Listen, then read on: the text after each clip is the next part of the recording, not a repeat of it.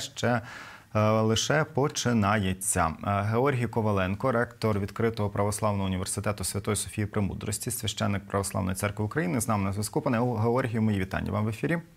Вітаю. Е, Ми бачимо, що процес такого. Я не знаю, чи виселення московського патріархату, бо вони вступатися звідти не хочуть, триває, і вони постійно говорять про те, що це утиски, що це така ворожнеча на регіональ... ой, не на регіональному, на, на конфесійному, на ре- релігійному ґрунті. Але вийшов цікавий звіт Державної комісії США з питань міжнародної релігійної свободи за 23-й рік, уже до речі, за цю частину року. Вони кажуть, що в принципі немає в Україні таких суттєвих якихось порушень прав е, свободи віросповідання. Ми розуміємо, що зразу вийде московська церква, скаже, що це американці, американський режим і все інше. Але ваші думки, чи справді є їм на що скаржитися зараз? Ну, ви бачите, да, в принципі, е, американський е, державний департамент дуже прискіпливо ставиться до питань свободи совісті. Це один з наріжних е, каменів взагалі е, системи е, координат да, вільного світу, забезпечення прав і свобод, свободи слова, свободи. Думки, да, свободи совісті, і дуже добре, да, що ми маємо такий звіт да, від тих, хто фахово займається цією темою, а не використовує її задля пропагандистських цілей. Ми бачили, що Росія намагалася ситуацію з московським патріархатом в Україні виносити навіть на е, е,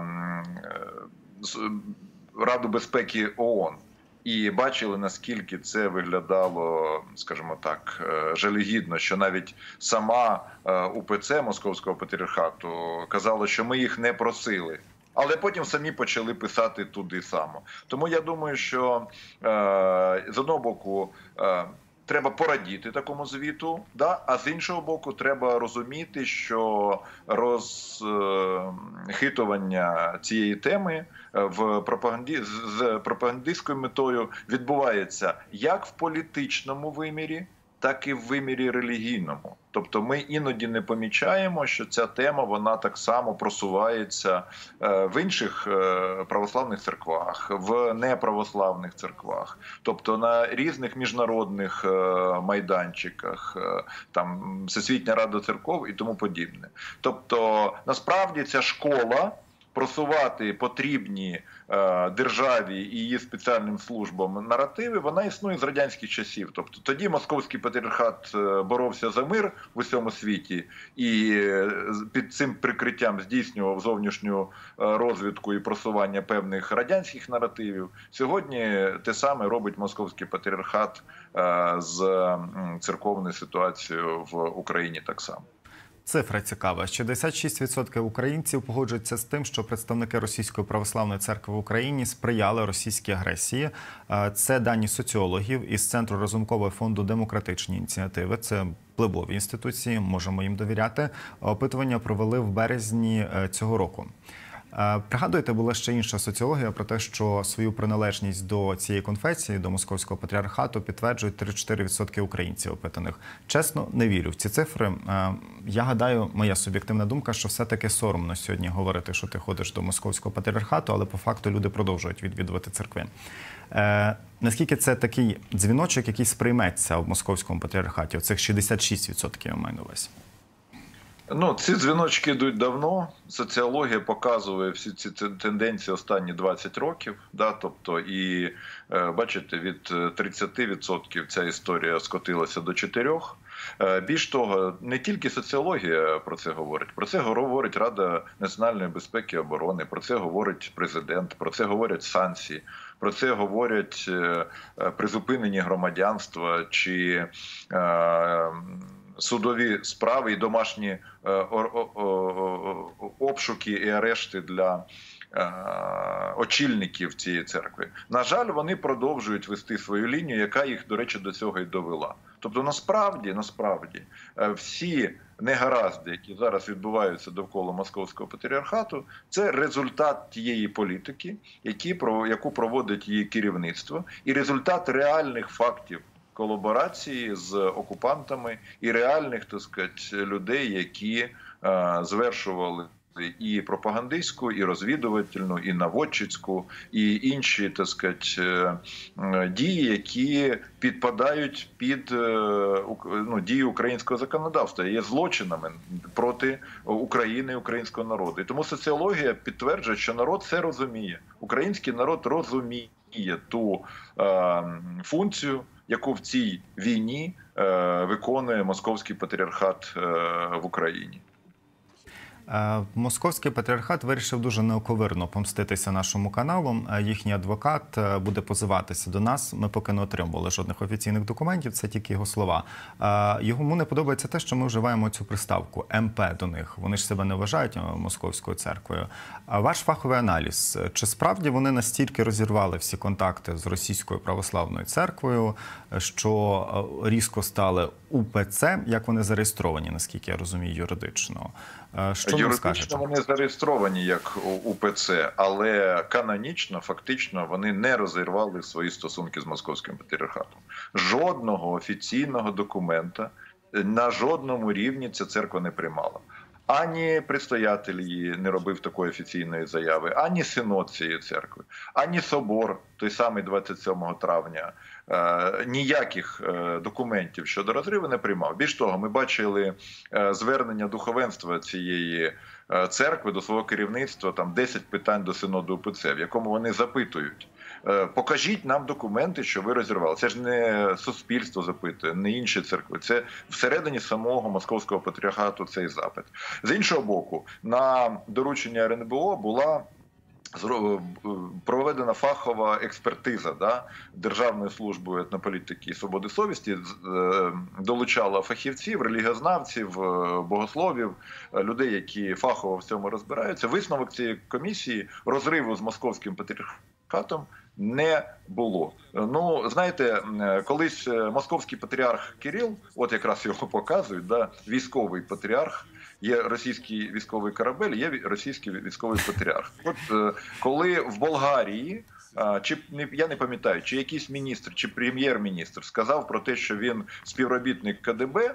Е, Вони е, теж сказали, що ми будемо позиватися до суду, але потім якось, але їм відповіли: так слухайте ж, комісія Верховної Ради ще тоді радянського союзу відкрила документи, згідно яких ви ж агент, не пам'ятаю там Михайлов, здається, його е, було це Так. так сказать, е, псевдо. Да, так сказать. Е, Я думаю, що тут така сама ситуація. Робиться гучна е, заява. Гучна заява, да, тобто, можливо, навіть якісь позови, але під цим немає жодного підґрунтя, бо зв'язок з московським патріархатом реальний це канонічний церковний зв'язок. Про це знають всі помісні православні церкви.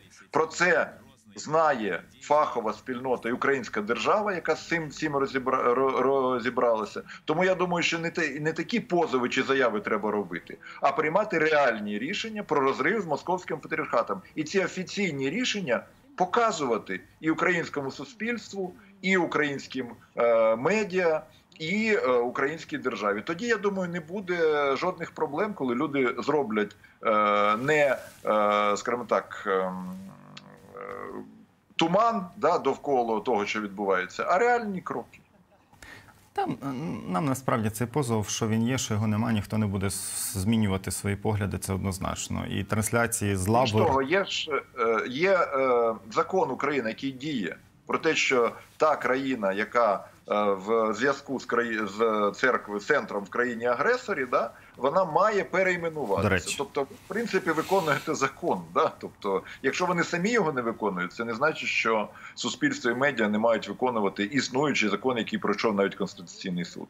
Російська православна церква в Україні. От як би мало все називатися. Е, Йдемо далі. Ви згадували цього так званого патріарха е, РПЦ Кирила. Він знову підтримував російських загарбників. Цього разу благословляв десантників, які е, поїхали вбивати українців на Поклонній горі. Де б це не було у Москві, він благословив окупантів. Власне, це напевно у тому такому страшному храмі. У них знаєте, я не знаю, чи так можна казати, вибачте, але в них оцей головний військовий храм у Москві це таке щось трошки жа- жахаюче. Таке, я думаю, всі бачили ці фотографії. Е, мені здається, що тут нічого нового насправді з благословіннями цими. Нічого нового, і дійсно цей храм це храм війни. Да, Він і побудований в такому мілітарному стилі, і Кирил в стильно під цей стиль ходить там е, в мантії кольору хакі, да, так сказати, і роздає благословіння. Ну сподіваємося, що саме в цьому соборі відбудеться суд над е, воєнними злочинцями і державними, і е, церковними, які їх благословляли. Це буде, мені здається, дуже доречне місце для проведення трибуналу над е, очільниками Російської православної церкви, які фактично є ідеологами цієї війни. Це давно вже не релігійні діячі, а по факту. Е, Один з відділів російської пропаганди, російської розвідки і російської е, ідеологічної машини. До речі, а в поміж церквами є якісь такі схожі, ну як судові інстанції, можливо, такий судовий, якийсь церковний суд? Чи це все А, до світських судів? Да, в принципі, е, на початку війни духовенство, до речі, московського патріархату, священники, яких я якраз можу називати священниками Української православної церкви, бо вони якраз вимагали е, на початку війни суду над патріархом Кирилом.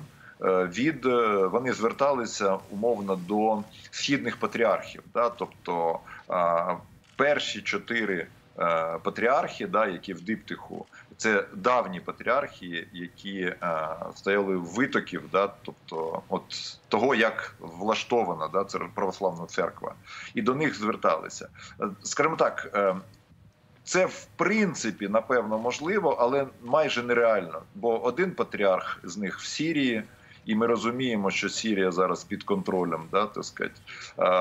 Один е, патріарх Єрусалимський так само має тісні зв'язки, так сказати, певний вплив на нього має е, Росія і Російська церква. Тому е, така інституція можлива. Але я думаю, що такий суд можливий буде тоді, коли реально буде суд і над політичним керівництвом е, Росії, і над військовим керівництвом. Тоді одночасно з цим судом я думаю, що буде і суд східних патріархів. Бо, до речі, в історії російської церкви це було.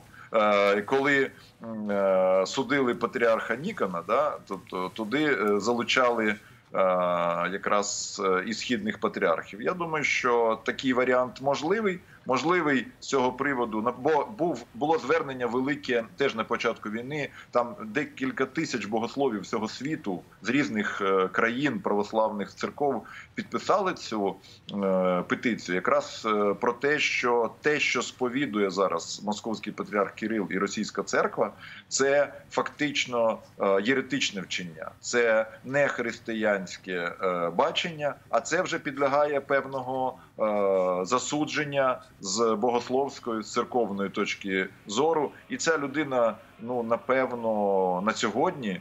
е, Не може е, вважатися гідним християнином чи е, очільником християнської спільноти, Е, очільником певної організації, яка існує е, в Росії, так, але це скоріше злочинна організація і з е, цивільного права, і з духовної точки зору.